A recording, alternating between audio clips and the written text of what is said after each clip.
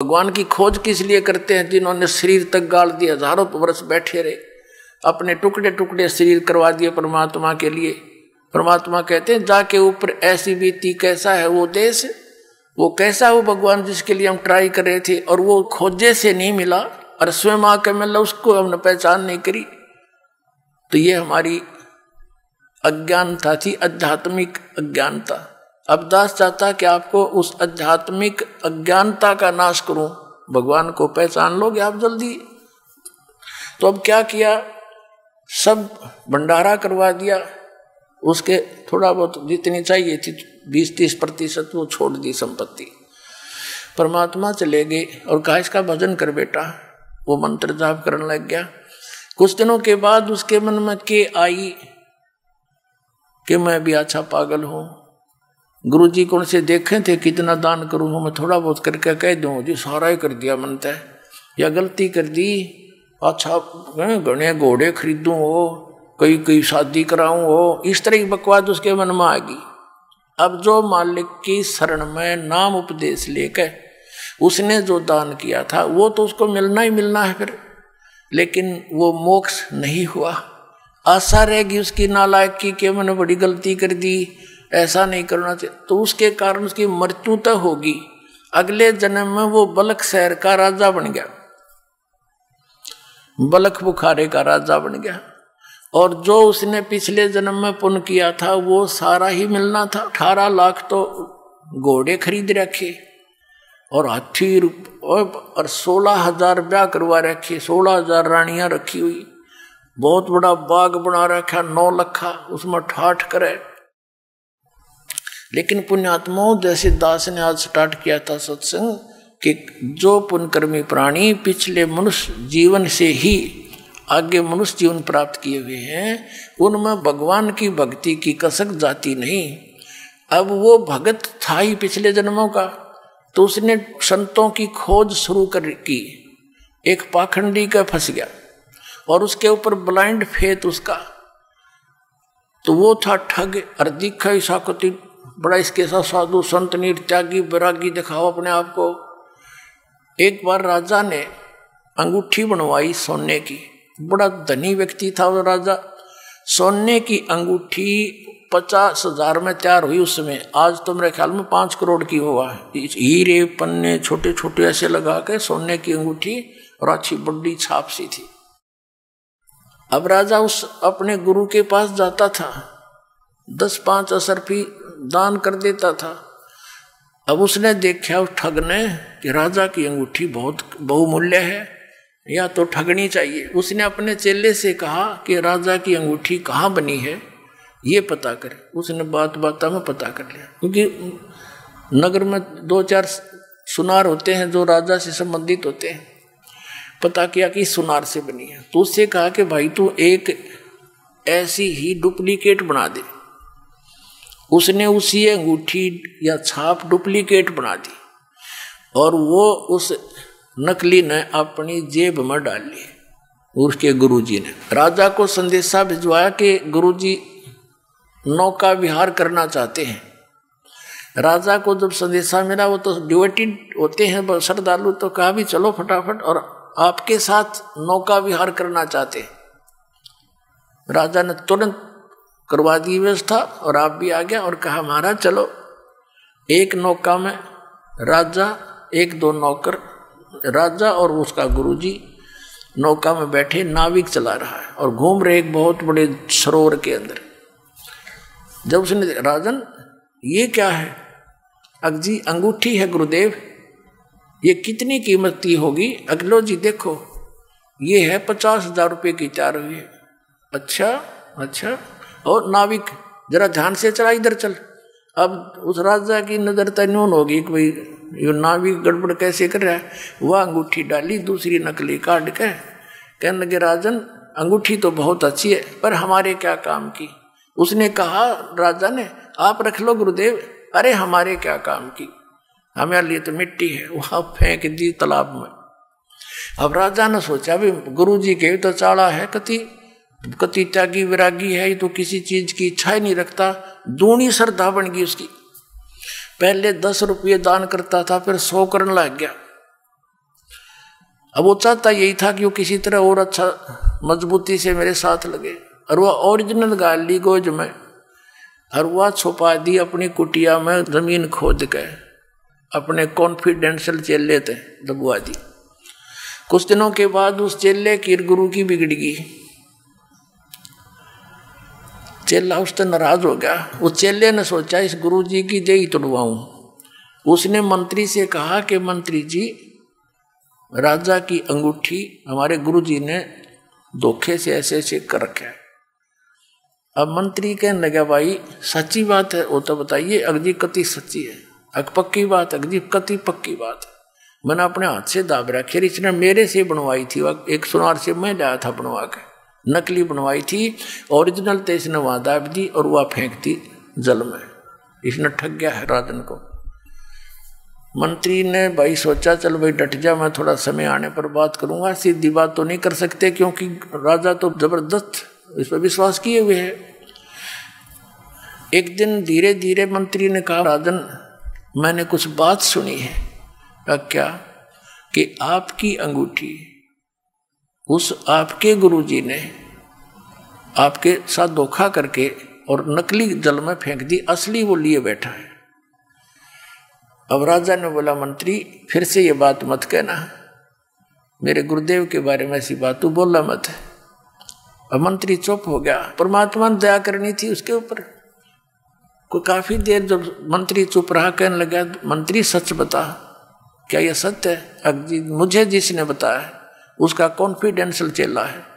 और उसे मैंने बहुत खोद कर पूछा कि सच्चाई होनी चाहिए। वो कह दी कति सच्चाई ना मेरी गर्दन काट दे। तो राजा इतना विश्वास करता था कि, मंत्री, अगर वहाँ बात कच्ची पागी तो मैं तेरी गर्दन काटूँगा। तो फिर तसल्ली कर ले। उसने फिर तसल्ली कॉन्फर्म होगी तब वो चेला बुलाया। चेले से पूछा कि, किस सुनार से बनवाई? तो सुनार बुलवाया राजा ने। मंत्री ने भी उस सुनार से पूछ लिया था।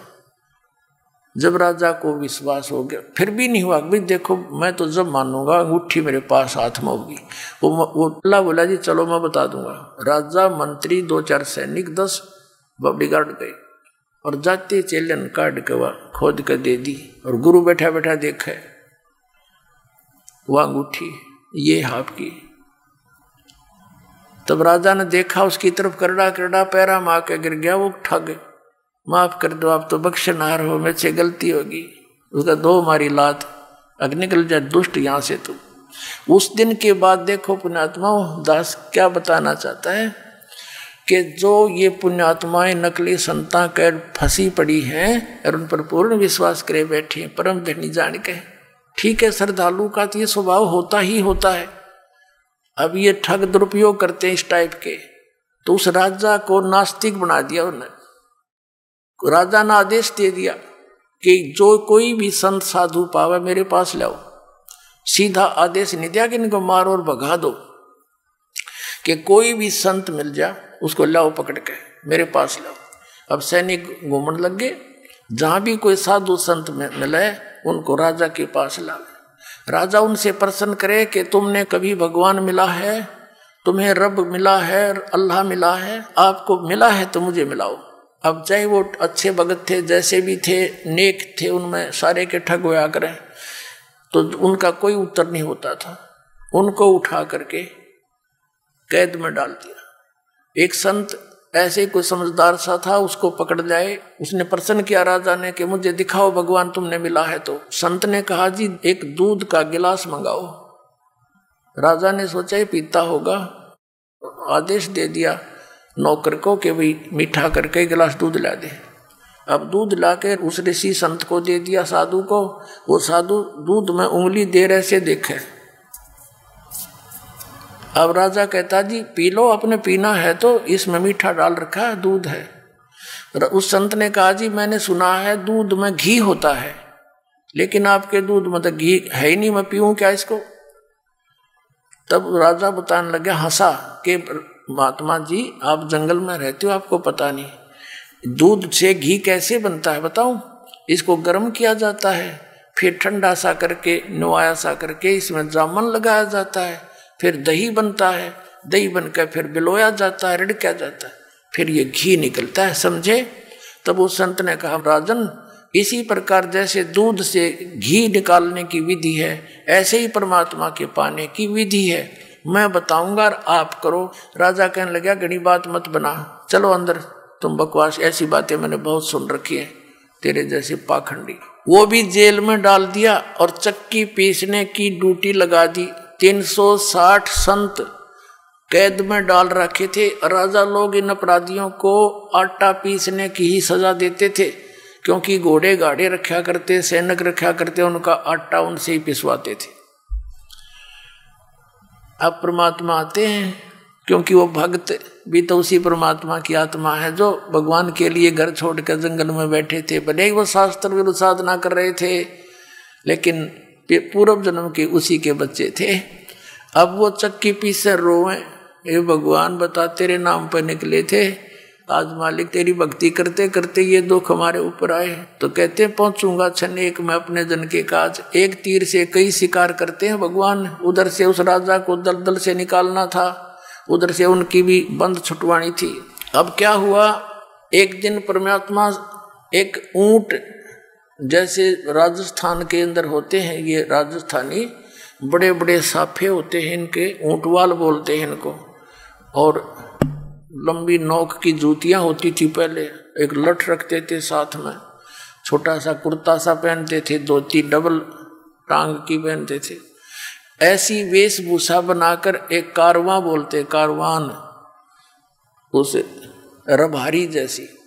और राजा के रेजिडेंशियल प्लेस पर, यानी उसके निवास स्थान की छत पर, राजा के घर की छत पर रात्रि के समय, और ऐसे खोद मारे लाठी की छत पे, खट खट हुआ राजा की छत पे तो चिड़िया की आवाज़ भी नहीं हो सकती।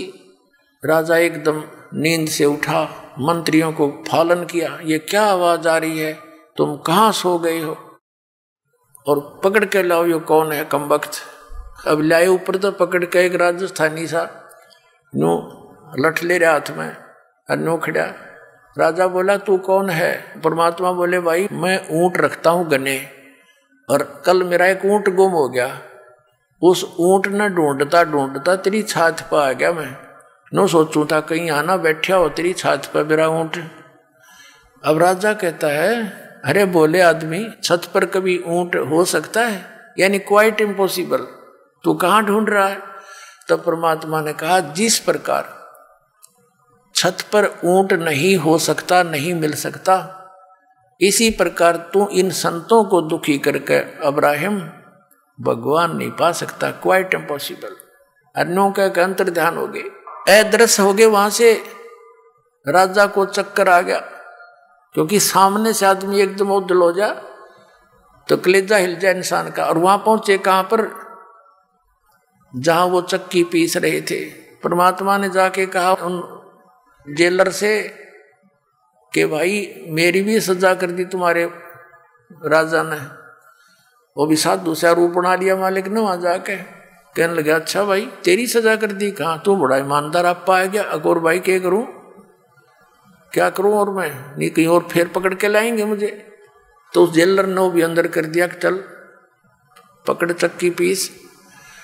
अब परमात्मा बोले, भाई, बात सुन, सैनिकों पुलिस वालों एक काम करेंगे हम। सभी उनसे कह दिया कैदियों से, कैदियों पर डट जाओ, बंद कर दो चक्की को। एक काम करेंगे, चाहे तो आटा पिसवा लो और चाहे इसमें ये दाने डलवा लो। एक काम तुम करो, एक काम करेंगे। अब उस सैनिका ने सोचा अच्छा ये तो क्रांतिकारी है भाई।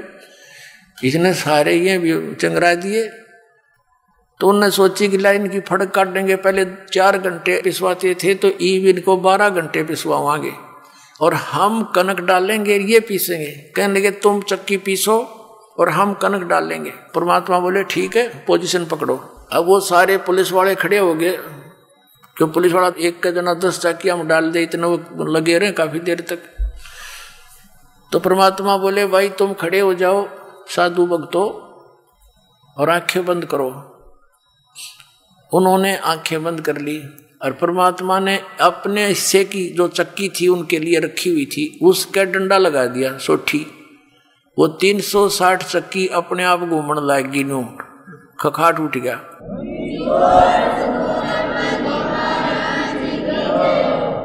और परमात्मा बोले, ले भाई सैनिकों कितना पीस लियो, आराम चले। परमात्मा ने कहा, आँखें खोलो। उन आँखें खोली तो उस नगरी से बाहर एक किलोमीटर दूर जंगल में सारे संत खड़े। और परमात्मा ने कहा, इसे साकेट की नगरी में फेर मत आइयो, तुम भाग जाओ यहाँ से। अब वो तो छोड़ कर जूती नू जा खखाट बाबा जी तक गए पार सीमा अब उधर से क्या हो रहा है? वो चक्की आप पाप चल, उन पसीने आगे बुखार चढ़ गए सारे, उन पुलिस वाला गए और दूर खड़े हो गए। देखे सारे, फिर एक सैनिक गया राजा के पास कि राजन, ऐसे ऐसे एक संत आया था और उसने ऐसे जादू जंत्र किया कि सारी चक्कियाँ चल रही हैं, सारे कैदिया ने भगा ले गया अंतर जान करके। उधर से राजा के बारे में पता चला कि एक यहाँ भी आया था। राजा ने जाकर देखा कि सचमुच चक्कियाँ चल रही है। वो तो इसलिए था कभी सैनिकों के ऊपर फिर ये दुखी करा कर तुमने भेज दिया उनको। तो चक्की चलती देख कर वो कहने लगा, भाई, थारा दोष नहीं ये तो मेरे पास भी आया था। अब उसकी, वो सटाट हुई उसके वह कसक भगवान की उस दिन से। फिर कुछ दिन में भूल पड़ गई। राजा चिंतित हुआ तो मौलवियों से बुलवा कर काजियों से, मौलवियों से एक ताबीज बंधवा दिया बाजू में। उन्होंने बताया, जी, ये तो कोई ऐसे जन वगैरह होते हैं, भूत प्रेत। ये फरिश्ते वगैरह आ जाते हैं, कोई ऐसी बात नहीं। अब नहीं आएँगे। कुछ दिनों के बाद परमात्मा ने क्या करा? एक यात्री का रूप बनाया। शाम के समय एक छोटी सी पोटली राह चलते रखा करते बैग बैग जैसे छोटा सा उसमें अपने रास्ते के कपड़े आदि होते थे। ऐसा लेकर के एक पोटली सी सिर पे और शाम के समय राजा बैठा था अपने महल के सामने घर में। एक तो होता है उनका दरबार, ऑफ़िस, वो अलग होता है। एक अपने घर में बैठा था। और वो परमात्मा पहुँच गए वहाँ सामने राजा के पास। राजा से जाकर कहने लगे, अरे भाई, धर्मशाला वाले ए सराय वाले, एक कमरा किराए पर दे दे भाई, और उसका किराया बता दे, मैंने एक रात काटनी है। राजा उसके मुँह की तरफ़ देखे। उन्हें सोचा बोला बाला यात्री ग्रामीण है, इसका धोखा लग गया। वो कहने लगा, भाई, आप कौन हो? उसने कहा, परमात्मा ने मैं यात्री हूँ, मैंने अपने जाना है सफ़र पे, देर होगी, मैंने रुकना है रात ने तो किराया बता दे, कोठड़ी मैंने दे दे। तो राजा बोला, तेने पता ये क्या स्थान है? अब क्या है भाई, बता दे कि ये मेरा महल है, मैं राजा हूँ यहाँ का।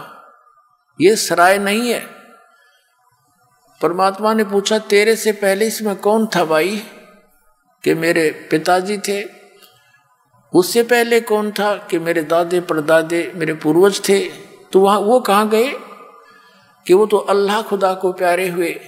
तो आप कितने दिन रहोगे इसमें? जब अपना नंबर आवा ना मृत्यु का, जब होश हवास उठ जाते आदमी के। कहा, जाना तो मुझे भी पड़ेगा। फिर न मैल समझे, मूर्ख तू। ये सरा नहीं तो क्या तू मैल समझता है? ये तेरे बाप दादा पड़ पीढ़ी, ये भी बसे सरा में दी ऐसे ही तू चल जाई, इसलिए मैंने यह महल सरा बताई। न्यू कहकर अंतर ध्यान हो गए राजा को चक्कर आके गिर गया। अब फिर और मौलवी बुला दिया। उसने दूसरी बात जो तबीज बाँध दिया। कब नहीं आओगा? भूत प्रेत था कोई। इन्होंने बेरा यो प्रेत ना हटता, ये तो हमने निकाल कर छोड़ देगा यहाँ से काल के जाल से।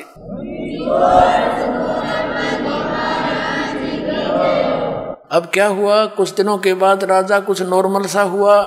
ये राजा क्या करता था? एक नौ लखा बाग होता, जिसमें नौ लाख प्रकार के पौधे लगाए जाते हैं। मतलब उसमें अच्छा बढ़िया वातावरण बनाने के लिए। वहाँ राजा टहलता था और दोपहर के समय दो तीन घंटे वहाँ विश्राम करता था। उस बाग के अंदर राजा की जो बेड था, बिस्तर था, उसको संवारने का आसपास चारों तरफ़ फूल फाल सजाने की ड्यूटी बांदियों की लगाई जाती थी, नौकरानियों की। परमात्मा ने एक दिन एक बंदी का, दासी का रूप बनाया नौकरानी। यानी रानियों की ड्रेस में और नौकरानियों की ड्रेस में अंतर होता था। अब परमात्मा ने एक नौकरानी का रूप बना के और बेड बिछाया खूब सुंदर, चारों तरफ़ गुलदस्ते लगा दिए।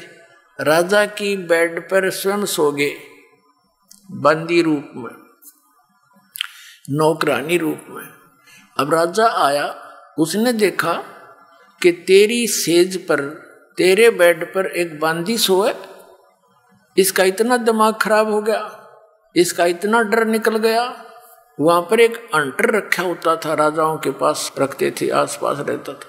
एक अंटर उठाया, कोड़ा। वो कोड़ा इतना ज़बरदस्त लगा करता था, अगर घोड़े का मार दे तो घोड़ा बैठ जा। इतना पीड़ा होती थी। उसने क्रोधित होकर के उसको परमात्मा को बंदी जानकर, दासी मानकर, नौकरानी मानकर, तीन कोरडे ज़बरदस्त ढंग से मारे और तीन निशान न्यारे न्यारे मार लेके कमर पर हो गए। अब परमात्मा बांदी रूप में खड़े हुए, दासी रूप में पहले तो थोड़ा सा रोने का बहाना किया और फिर हँसते हँसते लोट पोट हो गए। ज़मीन पर लोट कर हंसे हंसे, डटे नहीं डटे। अब उस राजा ने सोचा इन कोरडे लागे पास आदमी आसन का तना रहा। करे क्या कारण है? उसने बाजू पकड़ के उठाया। अकबांदी, तू हँसी क्यों? मुझे इसका कारण बता। तब परमात्मा ने कहा कि मैं इसलिए हंस रही हूँ या इसी नकम्मी बेड है जो बिस्तर तेरा, जिस पर मैं एक घड़ी सोई। और एक घड़ी सोने का मुझे दंड मिला तीन कोरडे। मैं नो हंसू, बेटा, तेरी गेल के बनेगा, तू तो रोज सो इस पर अब तेरे साथ के बनेगी, मैं नू हंस रही हूँ। और नो कह के अंतर ध्यान हो गए। उस दिन दो घंटे मौसम आया राजा। बेहोश हो गया। लेकिन ये संसार के लोग जो काल के दूत ना मानने ना मानने दे, रानिया ने फेर जंतर मंत्र करवा के गले में तबीज बंधवा दिया। अगना युग ठीक रहेगा। उधर से क्या किया? मंत्रियों ने सलाह दी रानी को कि इसको, इनको आप बाहर भेज दो, जंगल में शिकार करके आएँगे। वहाँ इनका दिल सा हो जाएगा, दूसरे टाइप का यहाँ रहेंगे तो चिंतित रहते हैं। अब वो चिंतित नहीं रहने लग? गया बस सचमुच, ये तो एक दिन मरना है, ये सब छूटेगा। लेकिन हमारी आस्था की जड़ें घनी गहरी होती हैं। भगवान करेन का काम करेगा ना, जब निकलेंगे हम यहाँ से तो वो करेन भी लाओगा हमारे लिए सत्कर मानना। चाहे कुछ भी करना पड़े, पर हम लगे रहना इसके।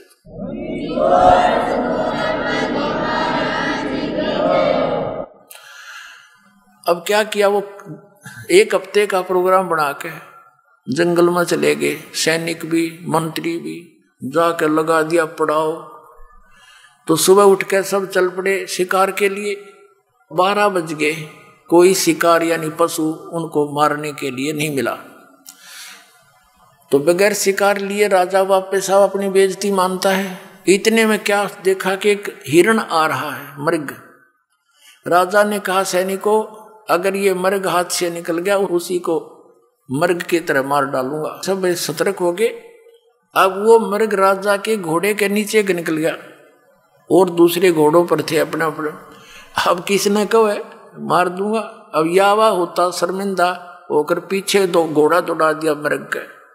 और सेना से रहेगी पीछे और वो घोड़ी दूर आगे निकल गया।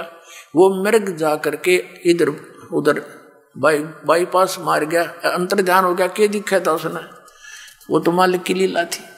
इतनी दूर चला गया, आसपास उसके साथी भी नहीं और घोड़े को भी प्यास झाग आगे प्यास लग आई, राजा को भी प्यास और भूख ज़बरदस्त लगी। ऐसी स्थिति होगी कि जब दस मिनट जल नहीं मिला तो मौत हो जा।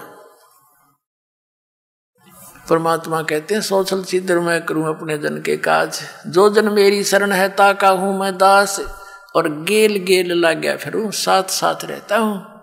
जब लग धरती आकाश जो बच्चा गऊ की नज़र में, यो साई को संत और भक्ता के पीछे, फिर वो भगत वचल भगवंत। अब वहाँ परमात्मा ने क्या लीला की? एक सुंदर बाग बनाया बगीची और एक बहुत सुंदर छोटा सा तालाब, निर्मल जल का। और एक झोपड़ी और आप बैठ के ज़िंदा महात्मा, मुसलमानों में ज़िंदा महात्मा ज़्यादा होते हैं। उनको फक्कड़ फकीर बताया करें। ज़िंदा महात्मा का रूप बना के झोंपड़ी का आगे बैठ गए और तीन कुत्ते बहुत सुंदर, उनको बेलों से बाँध रखा, जो कुत्ते बांधने की होती और एक बेल खाली रखी हुई थी, कुत्ते बांधने की एक्स्ट्रा अब राजा ने देखा, वाह, या अल्लाह। क्यों तो बाद मरने को आता है, जब कहता या अल्लाह, मेरी जान बचाओ, भगवान, मर गया तो आप ही रख सको अब परमात्मा जो रक्षक है, उसका तो हमने पता ही नहीं। वो हमारा रक्षक, तीनों लोगों में प्रवेश करके सबका धारण पोषण करता है। तो वो सुनता है पल पल की, वहाँ वो बगीचे सब साजबाज एक सेकंड में कर दिया।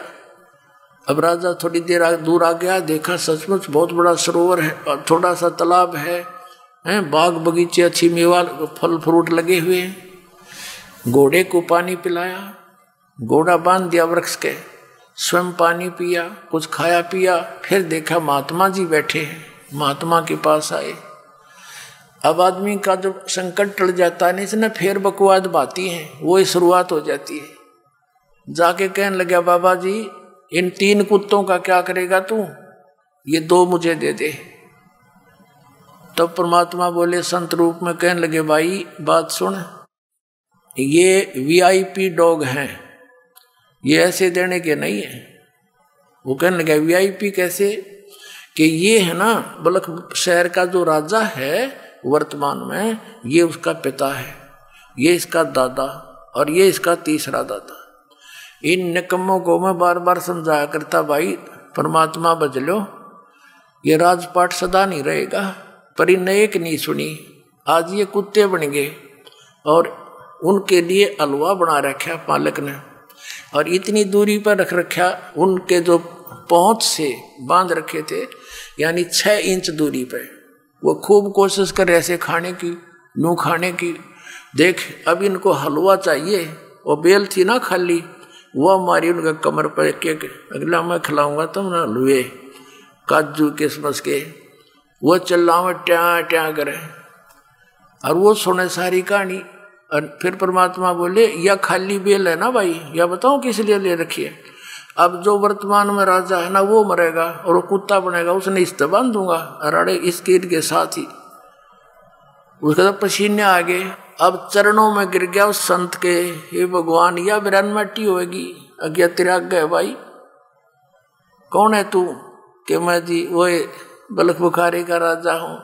तो परमात्मा ने कहा, ये तेरे बाप दादा थे भाई। इन भी तेरे की तरह बड़ी बदपहल कमाई। अब तू तकत बैठ कर भूली, तेरा मन चढ़ने को सूली। नालायक जो काम करने का था उसने शुरुआत शुरुआत भी नहीं की। इतना कह के अंतर ध्यान हो गए। राजा बेहोश हो गया, अचेत हो गया। नरमात्मा बहुत होती है भगत की। काफ़ी देर के बाद वो होश में आया, क्या देखता है, ना वो कोई संत है, ना कोई कुत्ता है, ना बाग ना बगीचा, ऐसे पड़ा कलर में। और घोड़ा देखा, घोड़े के पैर पानी में भीगे हुए हैं। पानी पी रखा, अपना तृप्ति। अब वो समझ नहीं सका, और ये पता लग गया तो बहुत बुरी बनेगी भाई। उसी समय इतने मायूस हो गया, आके सैनिकों से बोला नहीं और ऐसे संकेत किया कि उठाओ सब सामान को, चलो मेरे साथ। वो सैनिक तो ट्रेंड होते हैं, दस मिनट में बाँध गया अपने, बैग रो लिए गल गिर घोड़े ले ले गए। वापस आ गए। रानियों ने पूछा, मंत्रियों से क्या हो गया? अगदी पता नहीं। ऐसे ऐसे मृग के पीछे पीछे गए थे और पता नहीं वहाँ क्या हुआ इनको। और वापस आए तो किसी से नहीं बोलते।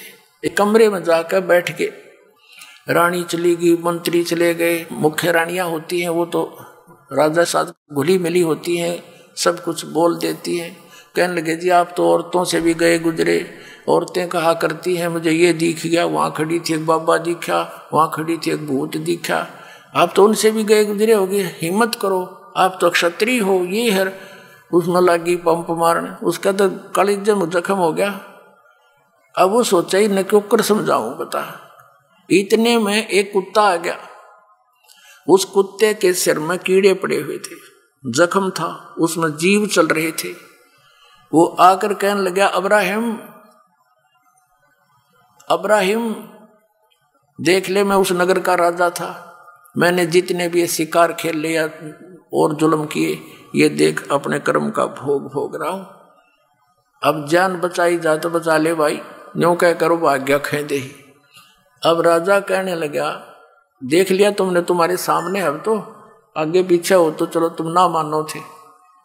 और कहा, निकल जाओ इस कमरे से बाहर सबको बाहर कर दिया, कुंडी ला ली। रात्रि के समय घर के पीछे से कमंद डालकर, रस्सा डालकर, सब वस्त्र निकाल कर और एक साल की जो है ना चद्दर सी बाँध कैसे गले में, एक कल लपेटा करें, साधु संत ऐसे। और निकल गया घर से रात ने, बीस किलोमीटर खींच दी रातों रात, घर के उठे इतने। अब आगे जाके क्या देखा? भूख लगी ज़ोर की, एक मालन बेर बेचे थी। कहा, मालन बेर कैसे देती है? कहने लगी, एक पैसे का शेर देती हूँ।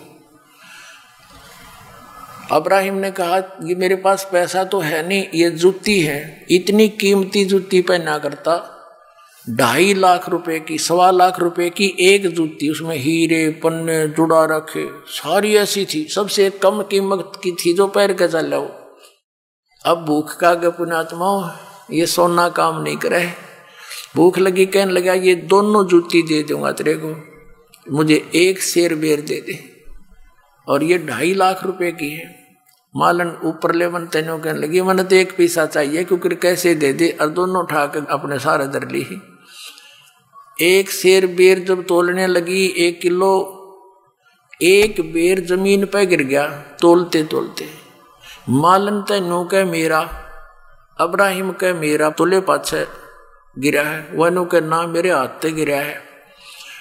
उस बेर पे गुत्तम गुत्ता। परमात्मा ने अपने रूप में आकर उसका एक दिरा कान पे है।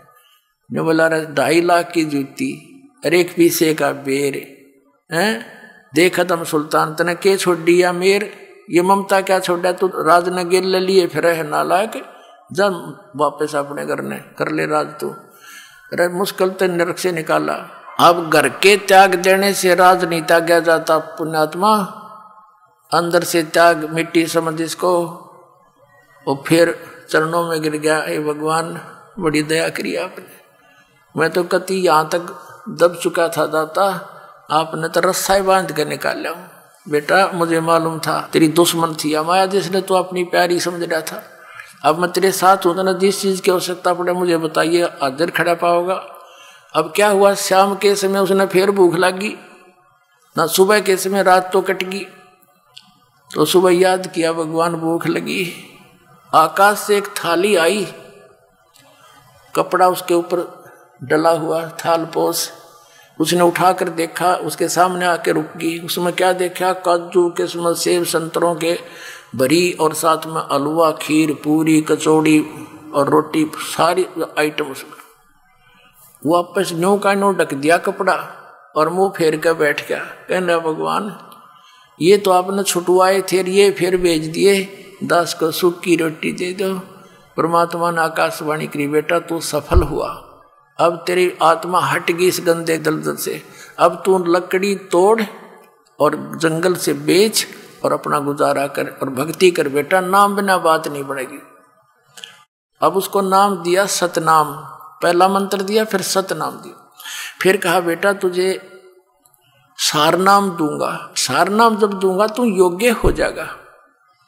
और परमात्मा ने बताया कि मेरा वहाँ आश्रम है, तू वहाँ आ जाना। तो वहाँ एक रहते थे साधु रूप में परमात्मा। अब्राहिम वहाँ जाने लगा, फिर सारनाम का समय आया। परमात्मा ने कहा, बेटा, ठीक है, वहाँ आ जाना, सार नाम तुझे दूँगा मैं। वो समय रख दिया, तिथि बता दी। तो राजा आ रहा था और एक बहन भगतमती वो उसी नगर की थी और उसके नगर के पास परमात्मा का आश्रम था छोटा सा वो राजा जो भगत बन गया था, वो नीचे से जा रहा था गली से। वो लड़की ऊपर से कोई कूड़ा करकट उठाकर और नीचे डाल दिया उसने। डालने के बाद देखा तो एक व्यक्ति पर गिर गया और लड़की झाँक के देखा। फिर बाद में वो रोड़े मचाने लग गया, तेने ये क्या कर दिया? कौन है तू बदतमीज? तब तो उसने देखा, झाँक के को हो तो किसी आदमी पर गिर गया। और आँखें लाल करके कहता है, काश मैं आज राजा होता, तेरे टुकड़े टुकड़े कर देता। तेने मेरा सारा हुलिया बिगाड़ दिया। वो कहने लगी, भाई साहब, गलती होगी, मैंने देखा को नहीं? माफ़ कर दो। मैं आज राजा होता, तुझे बता देता। तो वो लड़की ने सोची भाई यू क्या मतलब है? राजा क्यों कहता है? अब वो लड़की भी आश्रम आना था। उधर से उसने भी गुरुजी से मिलने जाना था। वहाँ वो सारे इकट्ठे हुए। जब उसने देखा तो वो आदमी है जो रास्ते में इसके ऊपर गलती से कूड़ा गिर गया था। तो परमात्मा से पूछा, गुरुदेव, ये भगत है, ये कभी राजा था? कहा बेटी, ये बहुत बड़ा राजा था। अब्राहिम सुल्तान अधम नाम है इसका, बल्ख बुखारे का राजा है। अच्छा ये था वो कहा परमात्मा ने पूछा, क्या बात थी? कि महाराज जैसे ऐसे ये आया ना जब मेरे से गलती से कूड़ा गिर गया, मैंने ध्यान नहीं करा। मैं तो यहाँ की चिंता में थी। इसके ऊपर जब कूड़ा डला तो इसने बहुत बुरा बोला तो मेरे थे बहुत गालियाँ दी और कहा, यदि आज मैं राजा होता, तेरे टुकड़े टुकड़े कर देता। कहा अच्छा बेटा, कोई बात नहीं। ये राजा था बेटी, इसमें कोई शक नहीं, बहुत बड़ा राजा था। अब कुछ देर के बाद उसने प्रार्थना की कि गुरुदेव आपके दास को सार नाम की दया करो, यदि योग्य हो गया हो तो परमात्मा बोले, बेटा, अभी तो तू राजा है। जब दास बने ना, जब आइए, एक वर्ष का समय दे दिया। अब वो कहना, जी, मैं तो आपका दास हूँ। ये मालिक, अब कहाँ राजा? मैं तो आपका दास हूँ। कहना बेटा। ये तो ऊपर ले मन तो बोल रहा है, तू अंदर से राजा है। अब उसको न्यू नहीं डिक्लेयर किया, यू किस कारण से कहा? अगजा एक वर्ष के बाद आना। अब गुरु जी का आज्ञा सिरोधारिये उठ कर चल पड़ा। जैसे आपकी आज्ञा हो एक वर्ष के बाद निर्धारित समय और निर्धारित दिन के इस समय तक आना है तेने वहाँ उस दिन। और परमात्मा ने कहा, बेटा, अब कई रास्ता तो वहीं तेरे घर के पास से आओगा। इसके ऊपर भैंसों का गाँव का, गोबर और मूत। थोड़ा सा पानी मिलाकर बाल्टी तैयार रखिए। और जब यू तेरे घर से नीचे का, इसको ऊपर चोटी में गिरिए इसके। वो लड़की तो सुबेरे बना के सारा सामान तैयार होगी अरबनो देखा कद सिया होगा उसने आना ही था, क्योंकि निर्धारित समय दे रखा। वो नीचे से आ रहा था, उस लड़की ने जचा के ऊपर तो तरडा ला दिया और सारा उड़िया बिगाड़ दिया उसका। और फिर ने बोली, भाई साहब, गलती होगी मेरे ते, माफ़ करियो। नो बोला, बहन, कोई बात ना, माटी पर माटी ये तो पड़ी है। कोई बात ना धो लूँगा नहा लूँगा, कोई बात नहीं।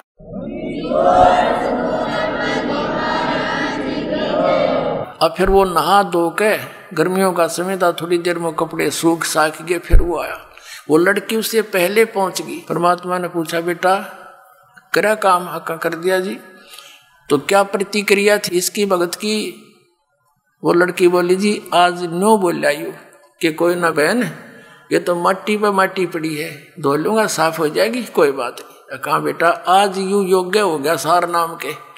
आज दूँगा इसने फिर वो आया, चरणों में प्रणाम किया कि गुरुदेव, आपका दास योग्य हो गया हो तो दया करियो दाता। न बोला, बेटा, आज तू राजा नहीं है, आज तू दास है। और दास है तो मेरा खास है। बोला जी ना राजा नहीं था मैं ना बेटा उस दिन तू राजा था। इस लड़की ने तेरे ऊपर वो कूड़ा डाला था क्या बोला तू उस दिन? हाँ जी उस दिन तो मैं कति ढेड था। राजा तो होता कि मैं कर दे मैं कुछ कर्ण का भी ना था फिर बकवाद करूँ था। ये परमात्मा आपकी दया से आज दास के अंदर दासापन आ गया।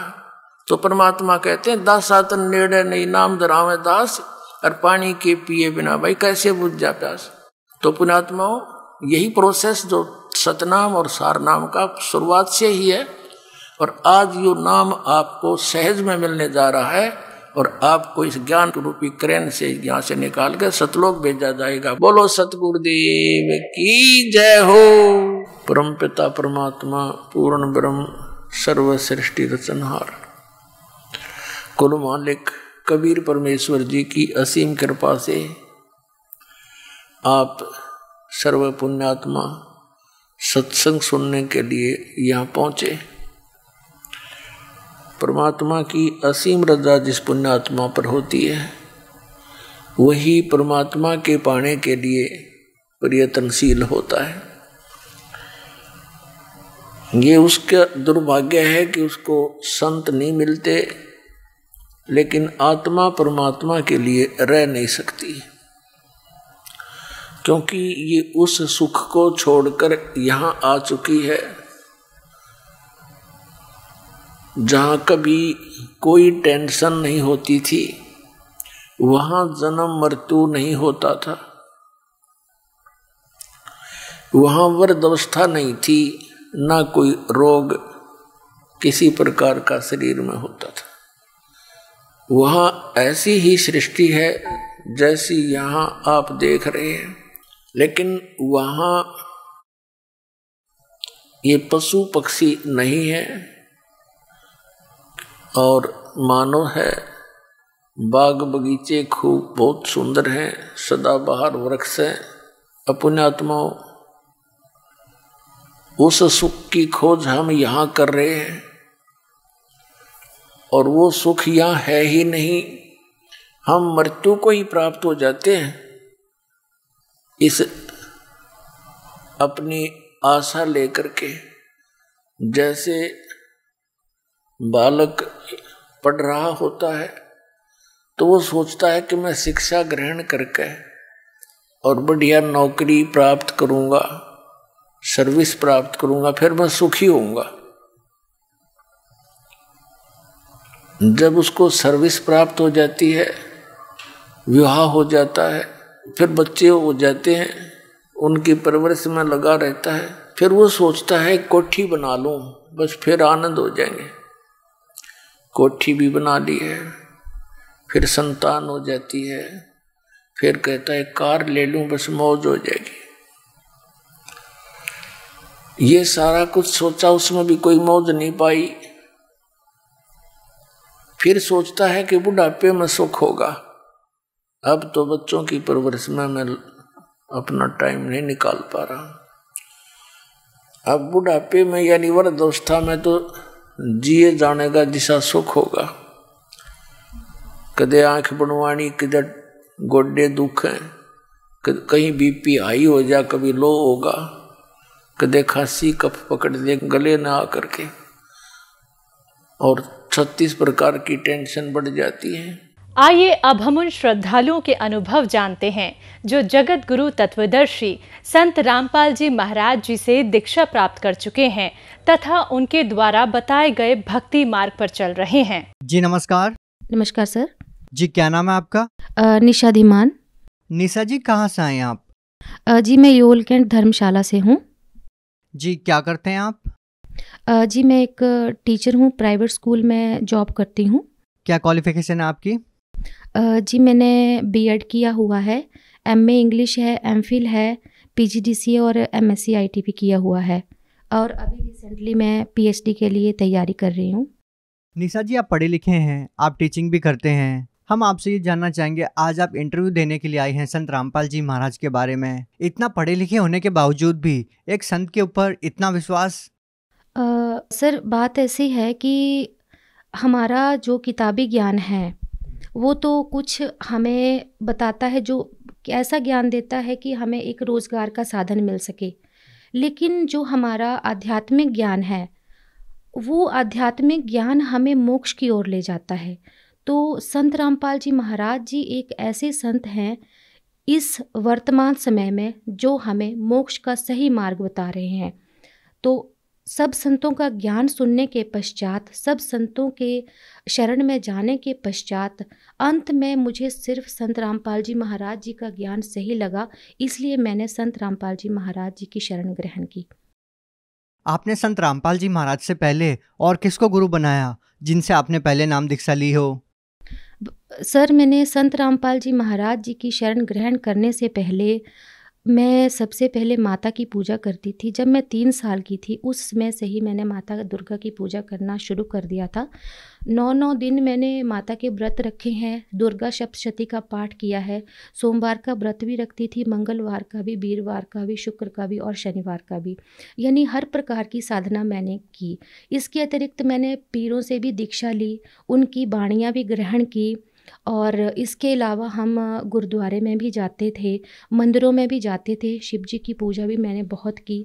घर में पारद का शिवलिंग रखा हुआ था तो हर सोमवार को उस पर जल चढ़ाना मतलब बहुत ज़्यादा पूजा पाठ मैंने किया।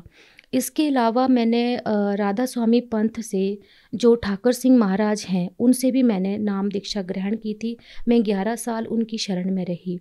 लेकिन जिस दिन मैंने उन संत की शरण ग्रहण की थी, उस दिन से ही मेरे पर दुखों का पहाड़ टूट पड़ा। यानी मुझे, मेरी पढ़ाई के अकॉर्डिंगली मतलब पूरा लाभ नहीं मिल पा रहा था। इसके अलावा मैंने डॉक्टर श्रीमाली जो हैं, उनसे भी शरण ग्रहण की थी। लेकिन मुझे कहीं भी सेटिस्फेक्शन नहीं मिला। तो अंत में मुझे सिर्फ़ संत रामपाल जी महाराज जी की शरण में ही जाना पड़ा। निशा जी जैसे कि आपने बताया कि पहले आप देवी दुर्गा की भी भक्ति करते थे और आपने बताया कि पहले आप राधा स्वामी पंथ में भी रहे हैं और अब आपने संत रामपाल जी महाराज से नाम दीक्षा ली है। हम आपसे ये जानना चाहेंगे कि क्या कारण रहा कि आपने राधा स्वामी पंथ छोड़कर संत रामपाल जी महाराज से नाम दीक्षा ली? सर ऐसा है कि इतनी भक्ति करने के बावजूद भी जब मैं मेरी शादी होगी तो उसके बाद जो है मेरी हालत ख़राब होने लगी। ऐसा हुआ कि मुझे जो है वो दर्द रहने लगी। मैंने जब डॉक्टर को दिखाया, मेरा बड़ा बेबी तब तीन महीने का था तो डॉक्टर बोलने लगे कि आपके जो है वो ब्लैडर में स्टोन है और ये निकलवाना ही पड़ेगा। मुझे राधा स्वामी पंथ में जो संत ठाकर सिंह महाराज हैं, दुर्गा माता पर बहुत ज़्यादा विश्वास था कि मेरा कष्ट ये काट देंगे और मुझे किसी ऐसी सिचुएशन से नहीं गुजरना पड़ेगा। लेकिन ऐसा कुछ नहीं हुआ। मुझे काफ़ी कष्ट सहना पड़ा। जब बेबी मेरा बड़े वाला बेटा तीन मंथ का था, उस टाइम मेरा ऑपरेशन हुआ। हालाँकि उससे तीन महीने पहले मेरा सजेरियन हुआ था। तीन महीने के बाद मेरा गॉल ब्लैडर जो है वो रिमूव कर दिया गया। उसके ठीक एक साल बाद मेरी किडनी में स्टोन था तो डॉक्टर ने बोला कि आपका किडनी जो है वो ख़राब हो चुका है। और मैं स्टाम्प पेपर पे लिख के देता हूँ कि दुनिया की कोई भी ताकत जो है वो आपकी किडनी को ठीक नहीं कर सकती है। लेकिन मैंने बोला, ठीक है, अब जो भी होगा वो देखा जाएगा। तो डॉक्टर ने जो है वो डीजे स्टंटिंग करी स्टंट डाला मेरे किडनी में क्योंकि दोनों किडनी में स्टोन था। जैसे तैसे करके उन्होंने रिमूव किया। फिर फिर भी वो थक्का जैसा वो किडनी में जमा ही रहा। चलो वो भी हो गया, जैसे तैसे टाइम निकाल लिया। उसके दो साल बाद फिर से मुझे जो है वो दर्द पड़ी। मैंने फिर से चेकअप करवाया। डॉक्टर बोलते कि सेम कंडीशन हमें समझ नहीं आ रहा, ये काला का सा जो ब्लैक जैसा थक्का जमा हुआ है, ये क्या है? तो फिर ब्लड मेरे को यूरिन में बहुत ज़्यादा ब्लड आता था और बैठना मुश्किल हो जाता था। तो ब्लड क्लॉट्स आते थे, फिर बहुत ज़्यादा क्रिटिकल कंडीशन थी। यानी मेरी हालत इतनी ख़राब हो गई थी, मैं धीरे धीरे जो है वो डिप्रेशन की ओर जो थी वो बढ़ रही थी। और इसके अलावा जो था वो मुझे सांस की भी प्रॉब्लम रहने लगी। सांस भी मेरी बैठे बैठे रुक जाती थी। एक बार क्या हुआ, हमने सुबह ब्रेकफास्ट किया सारी फैमिली ने और मैं बैठी थी और मेरा सांस रुक गया एकदम से। तो उस टाइम जो है मुझे रियलाइज़ हुआ कि सभी पूरी फैमिली मेंबर्स मेरे पास में बैठे हुए हैं, लेकिन मुझे कोई कोई मेरी हेल्प कर नहीं सकता इस टाइम क्योंकि एक सांस की कीमत जो है वो मुझे उस टाइम जो है वो समझ आई। तो इस तरह से मैंने जो है वो काफ़ी पूजा पाठ किए। जब मुझे कोई लाभ नहीं मिला तो मेरे मन में यही सवाल उठता था, गुरु को जो है वो भगवान से भी ज़्यादा ऊँचा दर्जा दिया गया है। तो अब मेरे साथ ऐसा क्यों हो रहा है कि मुझे कोई लाभ नहीं मिल पा रहा है? निशा जी, एक बात बताइए, आपने इतने सालों तक तरह तरह की पूजाएँ की, आप 11 साल तक राधा स्वामी पंथ में भी रहे तो हम आपसे ये जानना चाहेंगे कि इन सब चीज़ों के बावजूद आप संत रामपाल जी महाराज जी की शरण में कैसे आए?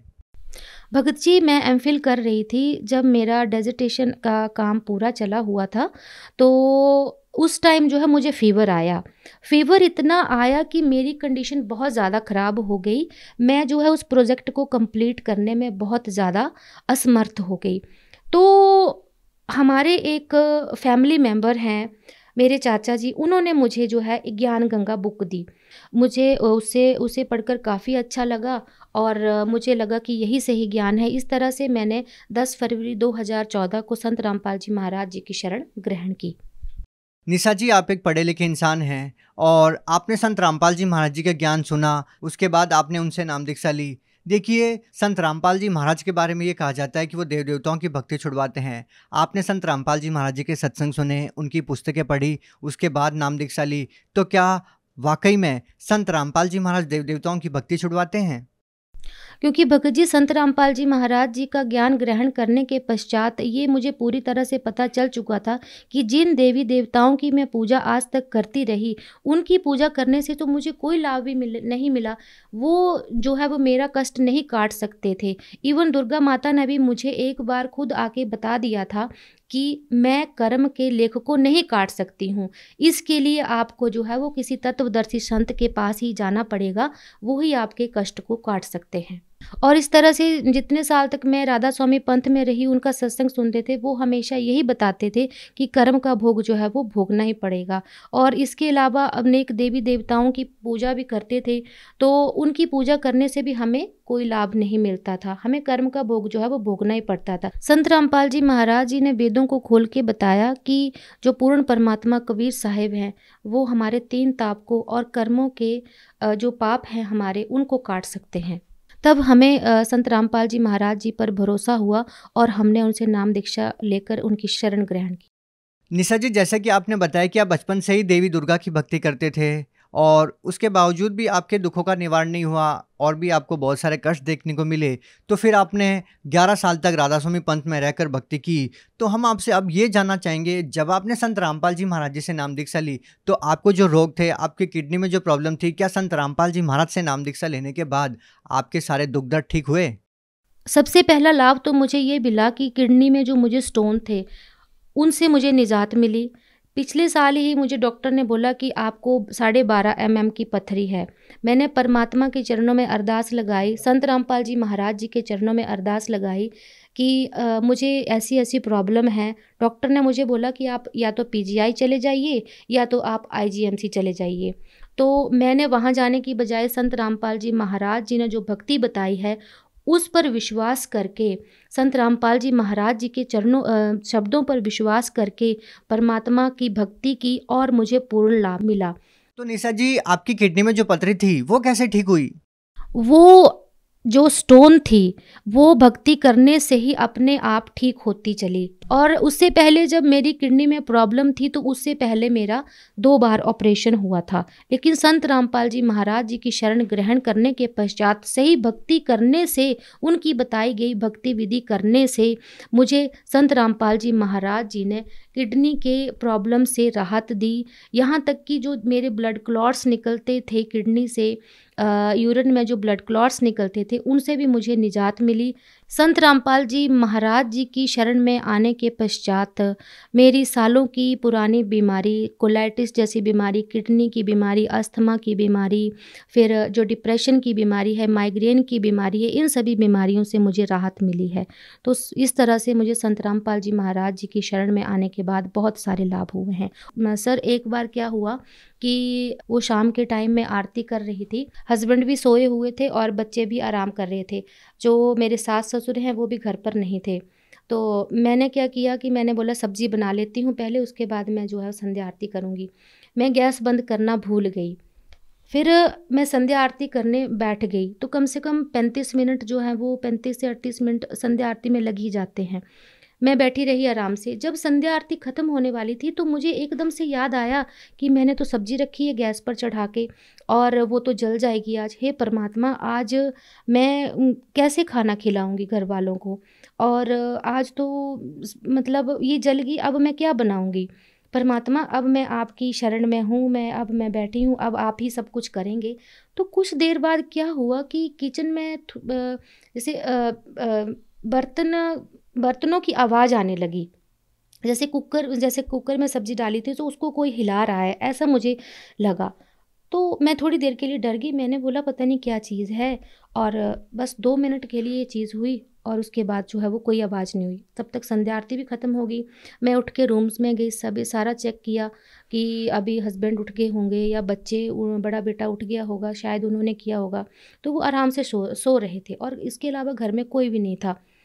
फिर जब मैंने देखा तो बर्तन जो थे वो रखे हुए थे और जो मतलब एक चम्मच था उस पर सब्ज़ी लगी हुई थी और मैंने जब कुकर में सब्ज़ी को देखा तो सब्ज़ी जली नहीं थी। हालाँकि वो सब्ज़ी जो है वो पैंतीस मिनट तक जो है वो गैस पर रखी हुई थी। तो इस तरह से संत रामपाल जी महाराज जी आके यहाँ तक इतना कर जाते हैं कि मतलब परमात्मा संत रामपाल जी महाराज जी बोलते हैं कि अगर आप परमात्मा की सही भक्ति करते हैं, उनके बताए भक्ति मार्ग पर चलते हैं तो परमात्मा आपके घर पे आके बैठ जाते हैं। तो ये बात जो है, मेरे साथ बिल्कुल सच साबित हुई है। निशा जी, एक बात बताइए आप देवभूमि हिमाचल से बिलोंग करते हैं और यहाँ पर भी संतों की भरमार है तो फिर हम आपसे जानना चाहेंगे कि हरियाणा इतनी दूर जाकर श्रद्धालु संत रामपाल जी महाराज जी से नाम दीक्षा क्यों ले? क्योंकि संत तो अनेक हैं, लेकिन सच्चा संत जो है वो सिर्फ़ एक ही होता है और संत रामपाल जी महाराज जी जो हैं, इस टाइम, इस पूरे विश्व में अकेले एक ऐसे संत हैं, जो शास्त्रों के अनुकूल साधना विधि बता रहे हैं और उस भक्ति को करके अनेक लोगों को बहुत सारे लाभ मिल रहे हैं। निशा जी, एक बात बताइए, संत रामपाल जी महाराज जी तो बहुत ही सिंपल से साधारण से दिखने वाले संत हैं। ना वो भगवा वस्त्र धारण किए होते हैं, ना वो अपनी बड़ी बड़ी दाढ़ी रखते हैं, ना गले में मालाएँ डाल के रखते हैं। तो फिर लोग संत रामपाल जी महाराज जी को कैसे पहचान पाएँगे कि वो एक संत है? सर आ, मेरा मानना है कि संत की पहचान उसके कपड़ों से उसके पहनावे से नहीं होती है कि उसने लाल पीले कपड़े बड़ी बड़ी जटाएँ दाढ़ी माथे पे तिलक लगा लगा रखा हो मालाएँ डाल रखी हों। लेकिन अब हमारे संत रामपाल जी महाराज जी जो हैं दिखने में साधारण हैं, लेकिन उनके पास ही वो पूर्ण ज्ञान है जो विश्व में किसी भी संत के पास नहीं है। क्योंकि संत रामपाल जी महाराज जी जो हैं, वो शास्त्रों को खोल खोल के बता रहे हैं, शास्त्र विधि बता रहे हैं, शास्त्र अनुकूल साधना बता रहे हैं और हम सबको इतने सारे लाभ दे रहे हैं। तो इस वजह से हम जो है अन्य संतों की शरण में जाने की बजाय संत रामपाल जी महाराज जी की शरण में ही जाएँ, ताकि हमें पूर्ण लाभ मिल सके और सबसे बड़ा हमें मोक्ष मिल सके।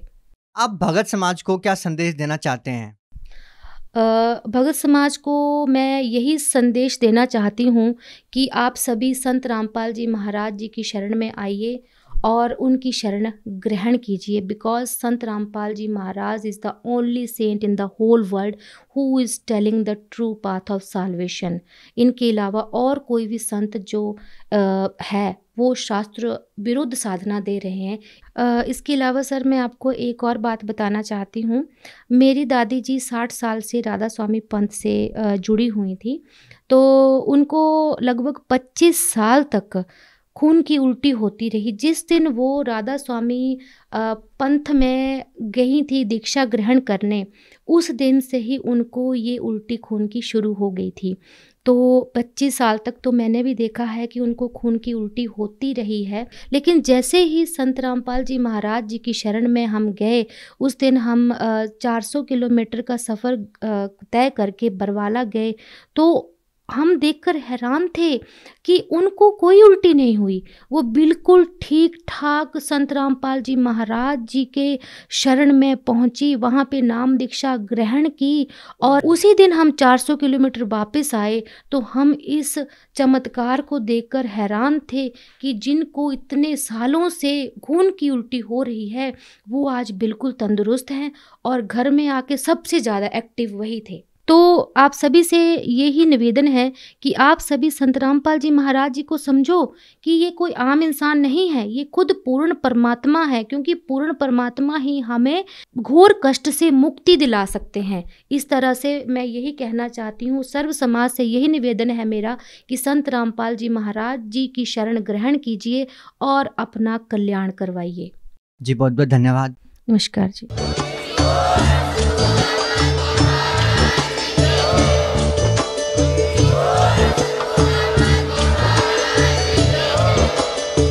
सुन रहे थे जगत गुरु तत्वदर्शी संत रामपाल जी महाराज जी के मंगल प्रवचन। अधिक जानकारी के लिए विज़िट कीजिए हमारी वेबसाइट www.jagatgururampalji.org संत रामपाल जी महाराज जी के शुभ आशीर्वाद से पूरे विश्व भर में 500 से भी ज़्यादा नाम दीक्षा केंद्र हैं, जिन पर संत रामपाल जी महाराज जी द्वारा ऑनलाइन निशुल्क नाम दीक्षा दी जा रही है। अपने नजदीकी नाम दीक्षा केंद्र का पता करने के लिए संपर्क करें। Eight two two two 880541.